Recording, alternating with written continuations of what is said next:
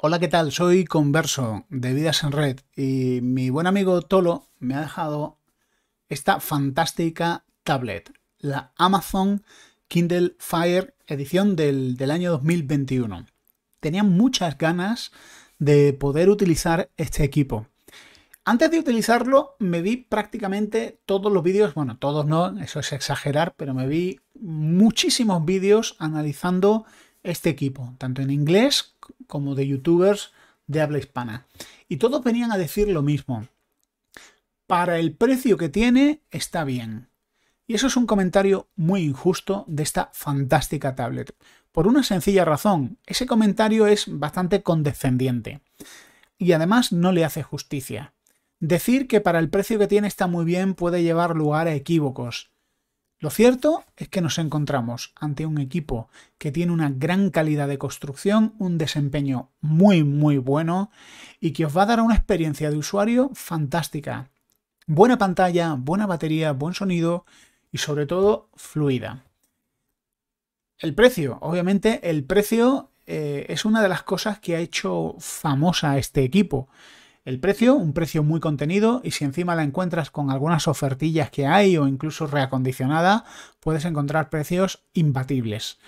La empresa que va por detrás, Amazon, ya sabéis el fantástico soporte que Amazon ofrece. ¿Es una tablet económica? Sí, pero no es una tablet eh, de baja calidad. No vais a encontrar componentes ni siquiera acabados eh, regulares. Yo he tenido en las manos tablets baratas y con mala calidad. Y lo primero que te das cuenta son detalles, ¿no? Sabes dónde mirar.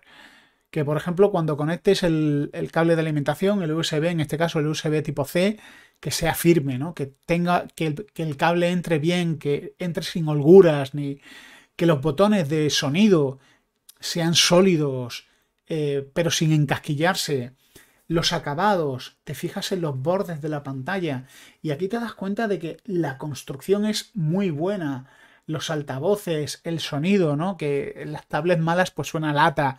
Aquí no, aquí tienes un buen sonido, unos muy buenos acabados y aunque sí, es cierto que es plástico, pero es un material muy resistente, muy sólido, con muy buen aspecto y está bien hecha. Una tablet resistente, decía. Eh, Amazon dice que han hecho drop test, test de caída, y lo han comparado con la tablet por excelencia, el iPad, y el Kindle Fire ha salido ganador. Y es lógico. Estos acabados de materiales plásticos robustos, con buena calidad, este cristal también eh, muy resistente, hace que sea una tablet ideal. Ideal para, para usarla y usarla intensivamente. También eh, muchos niños, veréis que muchos papás compran esta tablet para niños y además Amazon te ofrece fundas adecuadas para ellos. Y es, es una buena opción, entre otras cosas, porque esta, este equipo con Fire OS, que ya hablaré luego, te ofrece eh, unos controles parentales muy, muy buenos. La pantalla 10.1 pulgadas, 1920 x 1200 muy buena calidad para ver Netflix, para ver vídeos de YouTube, para navegar por Internet. La respuesta táctil, para mí eso es algo que es indicativo de lo fluido que va. Pues muy buena respuesta táctil. Yo utilizo mucho Twitter y en el tiempo, las semanas que he estado, bueno, he estado casi un mes utilizándola eh, de manera bastante intensiva, he escrito mensajes por Twitter. Además, permite hacer eh, swipe, deslizar el dedo muy buena respuesta táctil.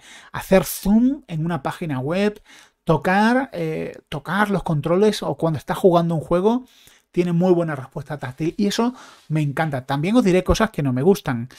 El tamaño me gusta, eh, sobre todo si lo vas a utilizar para navegar por internet, modo horizontal, para leer libros, modo, en modo vertical eh, algunas tablets, no sé por qué Samsung lo hace así, están haciendo unos tamaños muy alargados, con lo cual está muy bien para tenerlas en horizontal, pero en el momento que las pones en vertical es como si pusieras un monitor en vertical, es súper largo, y aquí tiene ese formato que es un formato de, libro, que, que, funciona muy bien y que es muy cómodo de usar. Además, no es realmente una tablet pesada. Con la funda quizá sí gana un poquito más de peso. Fire OS, el fork de Android que lleva este equipo. Para muchos le, les echa mucho para atrás el hecho de que no venga con las Google Apps preinstaladas. Y, para, y algunos se precipitan a ponerlas, a instalarlas. Hay muchísimos tutoriales en Internet. Te recomiendo que no lo hagas. Te recomiendo que disfrutes de la tablet con la experiencia que te da el fabricante. ¿Por qué? Porque aunque es fácil instalarle las Google Apps, las librerías que vienen no están optimizadas para este equipo, con lo cual te vas a encontrar que seguramente pues haya muchos eh, lags, cortes y que la tablet se vuelva inestable. Eh, yo probé las Google Apps y Alexa dejó de funcionar y la verdad es un punto que este equipo venga con Alexa porque le da, eh, le da unas prestaciones muy muy interesantes. Utiliza Fire OS porque la tienda de aplicaciones de Amazon es muy completa, vas a encontrar muchísimas aplicaciones. Luego os voy a enseñar eh, las aplicaciones que utilizo, están muy bien. Yo utilizo Netflix, utilizo para leer mis feeds InnoReader, que digo yo, no sabía que estuviera InnoReader, pues está. Además, eh, todo el mundo, los usuarios de Android, cuando pensamos en tiendas de aplicaciones, pensando, pensamos en la tienda de aplicaciones de Google. Y no, no es, no es imprescindible.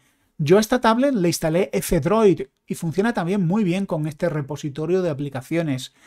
La pantalla dividida, lo vamos a ver, es genial. Una tablet que, tiene un buen tamaño, 10.1 pulgadas, poder estar en el metro como la he estado utilizando, dividiendo la pantalla en dos y a lo mejor teniendo un vídeo de YouTube a un lado y Twitter a otro, es ideal. Además, está tan optimizada, funciona tan bien que es, es muy útil. No me gusta que solo tenga un pin para desbloquear. Y mira que la tablet tiene Wi-Fi y tiene Bluetooth, que podía tener otras opciones de desbloqueo, pero de momento solo tiene un pin, no tienes ni siquiera patrón, ni tampoco tu ubicación. Bueno, el navegador que lleva es el navegador Silk, que muchos lo habréis visto en eh, en vuestros eh, pinchos de Kindle Fire para, para los televisores. Silk funciona muy bien. Es el navegador que viene por defecto, es ligero, eh, tiene opciones que me gustan mucho, como la opción de lectura. Cuando estás leyendo un artículo de prensa, te da la opción de activar el modo lectura y en ese momento solo ves el texto y las fotos. Ideal. Muy buena integración con Microsoft. Lleva los mapas de Bing. Lleva el buscador por defecto de Microsoft. Y bueno, el procesador pues tiene, bueno, el equipo tiene 3 GB de RAM. Eh, está bien, es correcto, pero si vas a tener abiertas muchas aplicaciones, pues vas a notar que el rendimiento baja un poquito. También os digo, si vais a, navegar por páginas como Reddit, que, que, los que conocéis Reddit sabéis que es una página que haces, te deslizas hacia abajo y sigue y sigue, pues esa carga puede hacer que Reddit sea algo pesado, sobre todo cuando llevas un tiempo navegando.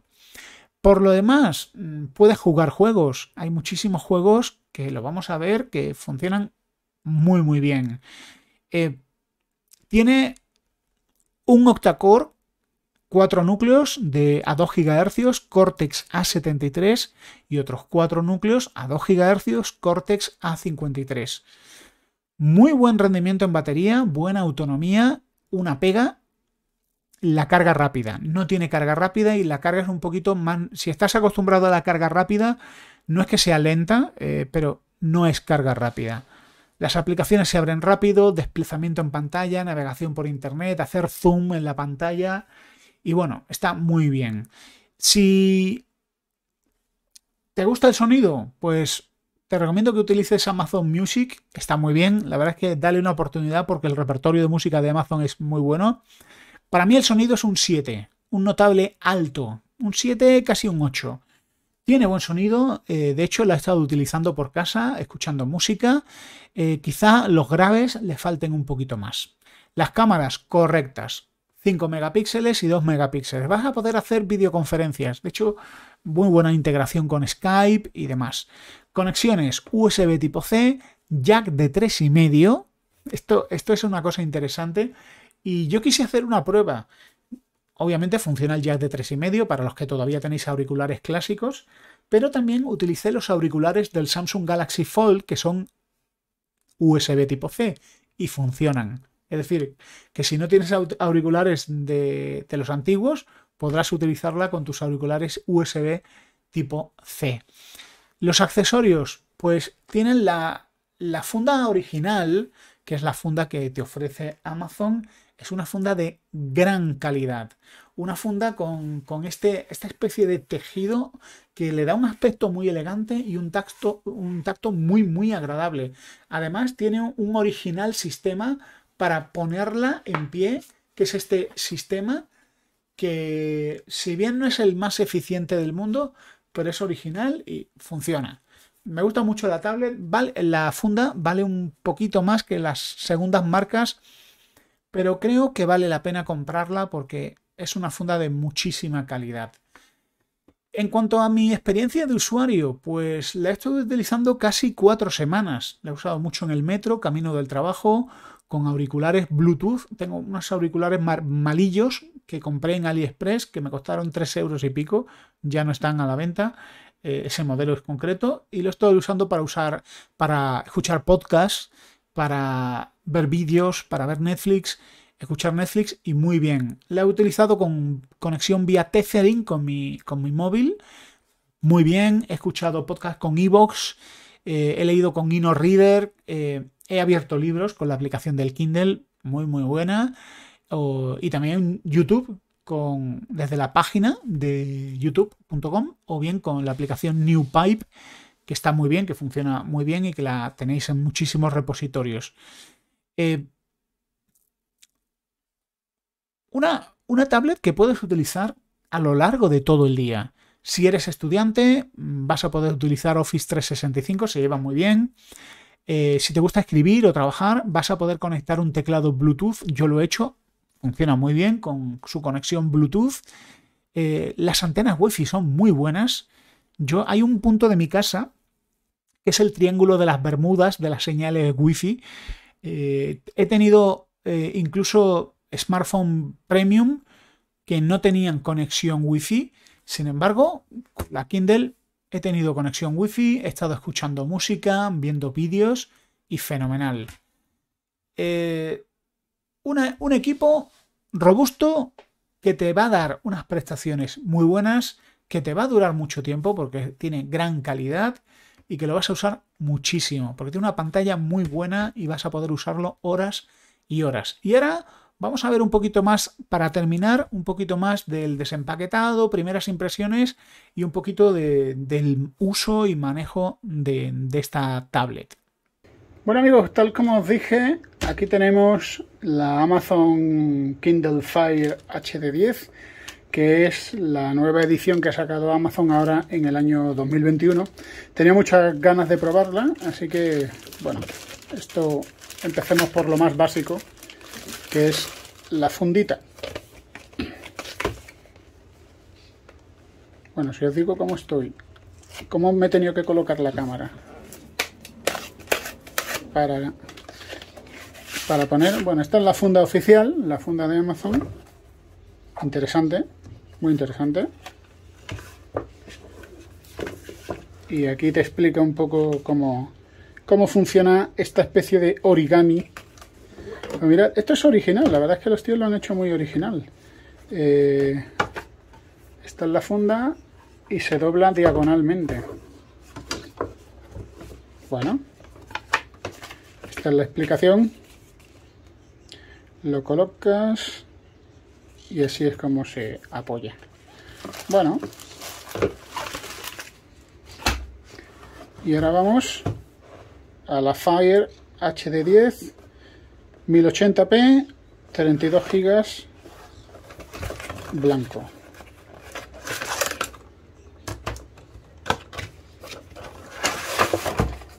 Y viene aquí con con su cargador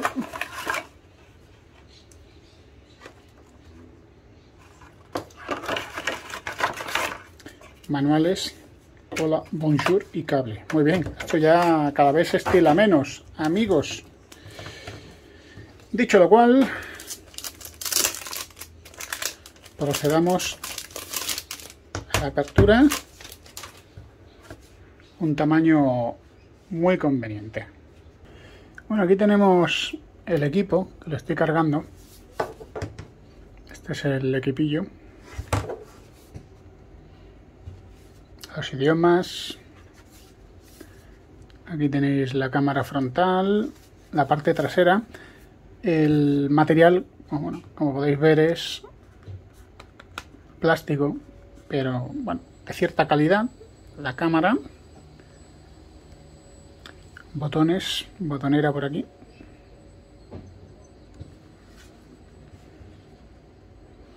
Los altavoces.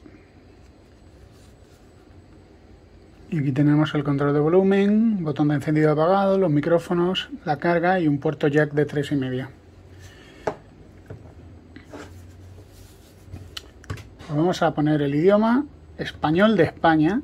Hay un español de Estados Unidos. esto, siempre me fascina. Seguimos. Vamos a meter las redes Wi-Fi. Mira, tiene soporte para 5G. Que menos, ¿no? ¿Tiene soporte para 5G? Sí. Bueno, de momento la respuesta táctil del teclado me gusta. O sea, me gusta que, la, tablet tenga la suficiente velocidad como para, para que sea rápida. A la hora de... O sea, la respuesta táctil sea rápida. Y eso ya, eso ya me, me convence. Bueno, aquí tenéis el wifi de mi Thermomix. Bueno, vamos a meter los datos de mi cuenta de Amazon. Bueno, he metido la contraseña, como veis, yo tengo la verificación en dos pasos, cosa que os recomiendo para aumentar eh, la seguridad de vuestro dispositivo. El sistema detecta que, yo tuve una Kindle Fire, la número 8, eh, que la compré en, el, en diciembre del año 2016. Madre mía. Y me pregunta si quiero restaurar. Pues sí, vamos a restaurar la copia de seguridad Ahora se está restaurando, me imagino que bueno, las aplicaciones, la configuración de, del Kindle Fire, del Wi-Fi, del email, el historial de búsqueda, los marcadores del navegador y también se está actualizando con el software más reciente. Bueno, aquí he hecho una cosa, ya bueno, podéis ver que he instalado algunas cosas, cosas que me vienen muy bien. Pues por ejemplo, eh, bueno, le he instalado un teclado Bluetooth que lo tengo un poco hecho polvo, pero es un Targus que funciona bien desde hace tiempo y el mapeo perfecto. Eh, Fire OS lo ha pillado muy bien. Y desde la tienda de aplicaciones, desde la App Store, pues he podido cargar pues bastantes aplicaciones. He instalado OneDrive, he instalado algún juego para ver qué tal funciona el juego en cuestión y demás. Además, bueno, está el World of Tanks, he instalado, he instalado F-Droid, que es otro repositorio de aplicaciones donde podéis instalar NewPipe. NewPipe, pues fijaos que rápido, tanto la rapidez como la respuesta es muy interesante, pues te permite reproducir vídeos de YouTube. Y el sonido es muy bueno, ¿eh? Me, me va gustando un poquito más el sonido. Así que buenos días. Y aquí estoy patrullando la ciudad. Y una cosa buena que tiene eh, esta aplicación es que puedes iconizar. Entonces puedes estar leyendo, haciendo otra cosa y aquí estás viendo eh, tu vídeo. Puedes poner la ventana completa, lo puedes parar, etcétera. Bueno, NewPipe es una aplicación alternativa a YouTube que en algunos sitios dicen las malas lenguas que está vetada. Tengo la aplicación de Twitter. Aquí la tengo, paso de la encuesta. Bueno, como muchas aplicaciones de Twitter, pues una pena porque no está bien adaptada a lo que es una tablet, está más pensada para lo que es un teléfono. Casi lo mejor es utilizar el navegador. El navegador, el navegador Silk funciona bastante, bastante bien. Vamos a poner aquí.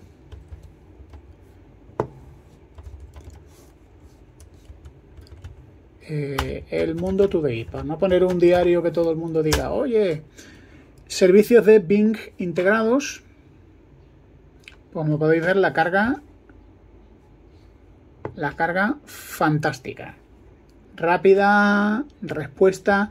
La calidad de la pantalla me gusta mucho, muy buena calidad de pantalla. Muy, muy buena calidad de pantalla. Muy buena respuesta táctil. Con lo cual una experiencia... Bueno, yo me voy a permitir ser un poquito entusiasta. Para mí es una experiencia superior al precio que estás pagando por esta, por esta tablet. Muy superior. He instalado esta aplicación para ver cómics, Comixology, una aplicación que también tiene tienda de cómic. Mirad qué rápido va todo, ¿eh? es que va súper bien. Eh, Google, eh, Amazon tiene su propio ecosistema, tiene su propio calendario, su propio cliente de email. La aplicación de, de mapas que hay es la de Google Maps, la, de Bing Maps, que está fenomenal. Mirad la aplicación de Bing Maps, la pinta que tiene. todo el mundo está como loco con Google, pero lo cierto es que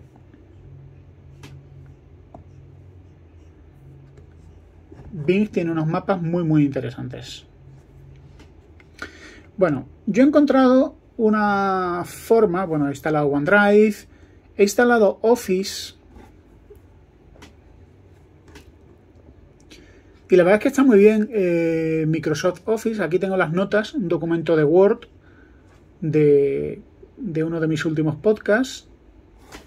Pues trabajar con Office, es, la experiencia muy parecida a trabajar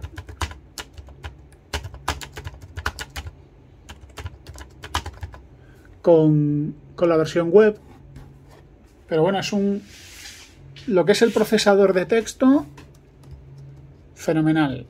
Si le pones un tecladito, un tecladito Bluetooth barato como este, también fenomenal. Así que. Pues. Mirad, esto es una. Esto es un Excel, que lo estoy abriendo ahora. Este es un Excel muy grande, ¿eh? Un Excel muy, muy, muy grande. Pues bueno. Sí es cierto que, si abres muchas cosas, pues puedes tener ahí puedes tener ahí cierta ralentización, pero no es lo normal. Ah, mirad, esto lo estaba buscando. Amazon Alexa. ¿Os podéis creer que yo todavía no he encontrado, eh, no he utilizado Alexa? Eh, no porque yo uso Siri y utilizo eh, Google. Sí, quiero configurar mi dispositivo. Ah, bueno, pero es que esto no es nada de esto. Oh, ok, lo siento. Y aquí tenemos Alexa. Actualizando la cuenta, concediendo permisos. Estaba el otro día viendo la serie Years and Years, que me recomendasteis algunos, y la verdad es que estuvo muy bien, eh, porque aunque no utilizan Alexa, pero se ve que tienen un altavoz de estos, un Echo Dot, y le van preguntando cosas.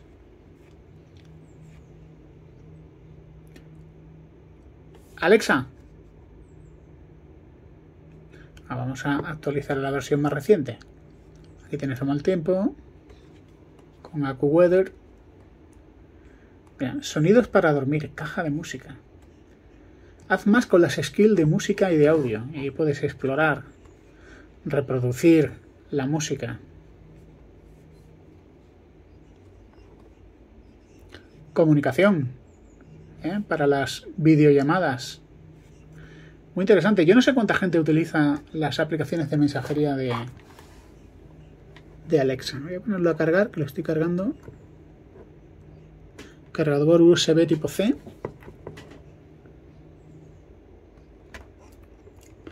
Todas las conexiones están en este lado. Eh, importante tenerlo en cuenta. ¿Qué más? Ah, mirad. Amazon Music. Este es el Spotify de Amazon. Que en su versión, para los que tenemos Amazon Prime, está muy bien. Yo realmente lo que más utilizo son pues esas emisoras de radio. Vamos a acercarnos un poquito más y vamos a ver el funcionamiento. Mirad, este es Blue Shade, que es un tono para lectura, que está en la barra de notificaciones de arriba y que te lo ajusta. El modo ahorro de energía para prolongar duración de batería o si vas cortito de batería. Este es el escritorio. Aquí tenéis distintas opciones, como por ejemplo el, el escritorio de la izquierda, que es la opción para ti, ¿no? Donde vienen libros, recomendaciones, escritorio central y el escritorio de la derecha, que es la biblioteca, donde tengo los libros que he comprado o libros que yo he subido eh, desde mi correo de Amazon.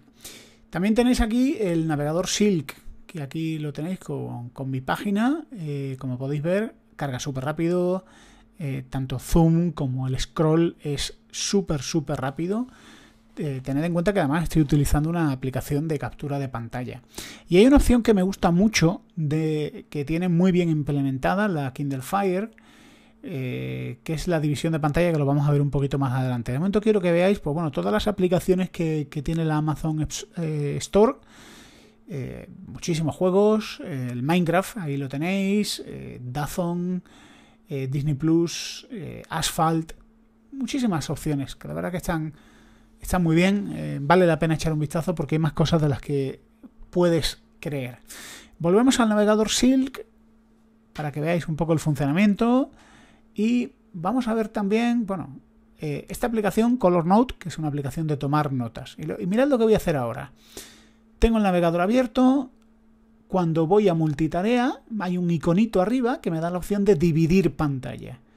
Y ya me da la opción de abrir una segunda aplicación y ya tengo las dos aplicaciones abiertas con, con un divisor en medio. Así que puedo estar navegando por internet y a la vez puedo estar tomando nota. Y mirad el teclado que permite hacer swipe súper fácil. Escribir es fácil con este teclado, con, esta respuesta tan buena. Y me encanta, me encanta esta multitarea, me encanta esta división de pantalla que tiene Fire OS en la Kindle Fire. Y muy fluida, puedes redimensionarla también. Funciona muy muy bien. Y cambiar de aplicación, claro. Si no quieres estar con Color Note, pues puedes cambiar la aplicación secundaria, moverla de un lado al otro, ir al menú principal o quitar el modo. Ese modo. Aquí tenemos Twitter abierto. Eh, como siempre, la aplicación de Twitter para Android no es que sea gran cosa. Me gusta más desde el navegador. Y aquí estoy haciendo scroll por la aplicación de Twitter. Aquí me tenéis al amigo Tolo, que amablemente me ha, dejado esta tablet. Y el menú principal con distintas aplicaciones. Aquí tenéis InnoReader, que es el, lector de feeds que, estoy utilizando, y las distintas noticias, cómo las tengo organizadas. Muy buena esta tablet para leer, para abrir las distintas noticias y, y más cositas que tengo en mi escritorio. Aquí tengo HBO, tengo Netflix, tengo Aptoide, que es uno de los repositorios. Y esta es una información del hardware. Aquí podemos ver cada núcleo funcionando. Eh, esta aplicación que nos muestra la CPU, el MediaTek, es el nombre del SOC. También podemos ver la GPU, esta Mali G72, que tiene buen rendimiento y que vas a poder jugar muchos juegos, casuales, menos casuales, también los tienes, el almacenamiento y algunas opciones más que te da esta aplicación para ver el hardware que tiene, que por supuesto coincide totalmente con las especificaciones. El acelerómetro muy bueno, muy preciso. Y vamos a probar otro juego. Eh, este no es un gran juego, este es un juego de francotirador bastante normal. Is Island Sniper. Eh, los gráficos no son gran cosa, pero bueno, vamos a ver dos juegos. Este es un juego normalito, este es un juego de francotirador que hace mucho uso del tema táctil para enfocar a tus adversarios y dispararles. Muy, muy buena respuesta táctil, se mueve rápido de un lado a otro. Aquí están los tipejos que me están disparando que les habré hecho yo. Y aquí estoy yo eh, disparando desde una barca, nada más y nada menos. ¿eh? Mirad qué precisión, qué maestría. ¡Ey! Ahí me han dado.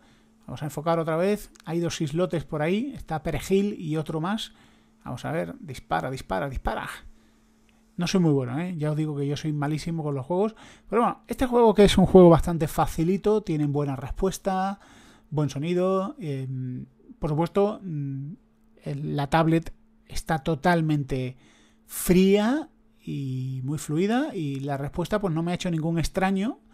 Eh, en todo momento se ha ido a donde yo le he dado, aunque mi torpeza no me permite apuntar bien a estos eh, despreciables objetos que, que no buscan mi bien. Bueno, sirva esto como prueba. Vamos a ir a otro juego un poquito más, un poquito más intenso, un poquito más premium. Vamos a ver qué tal se desenvuelve. Pues bien, vamos a jugar al Asphalt. Este es un juego que conocéis. Este tiene ya unos gráficos más exigentes. Eh, un juego que también hace uso del giroscopio, está cargando. Por cierto, en la Kindle Fire tiene una cosa que se llama modo juego. El modo juego te optimiza la memoria y, te va a permitir, pues, eh, dedicar los recursos al juego. Voy a rellenar aquí la información que me pide. Voy a pasar un poquito rápido y acelerar para meterme directamente en la partida. Bueno, esta parte del vídeo la he, acelerado para que vaya lo más rápido posible. Estaba yo aquí buscando qué modos de juego y ahora sí. Ahora sí, nos vamos aquí a una carrerita en los Alpes. Bonitas imágenes, bonitos competidores. Este es mi Dacia rojo. No, no es, no es un Dacia, pero es que yo sí tengo un Dacia. Y aquí estamos. Giroscopio. Fantástico, muy buena precisión Estoy moviendo, claro, no veis la tablet, pero estoy moviendo la tablet de un lado y a otro. Eh, estos derrapes buenos. Mirad, ya, ya, ya, ya me estoy acercando al de la primera posición. Cogemos algo de nitro. Eh, a ver, os digo que estoy grabando la pantalla, es decir, estoy corriendo el asfalt y además de fondo está corriendo una aplicación de grabación de pantalla.